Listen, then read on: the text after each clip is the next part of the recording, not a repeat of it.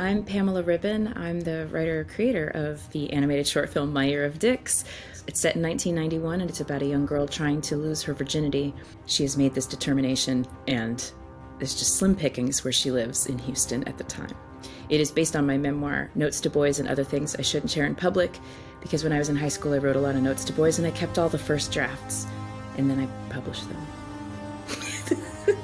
the fact that our little film is screening, ha having a theatrical run right now with the other an, um, Oscar nominated animated shorts, I don't know, it means the world to me that um, it's both getting this theatrical run and just this exposure alongside with other work that are very, very special.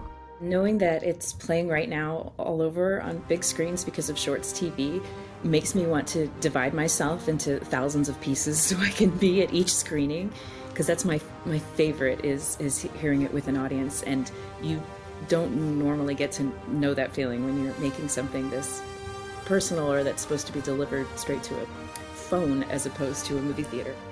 I will admit that in the beginning of this project I was like Pam don't know if I can say my year of death. like, can we think about this title? What I love most about it, it's a joke that puts us in this juvenile space that you saw when Riz Ahmed announced it and we were all giggling. And it's just, it's kind of a beautiful thing.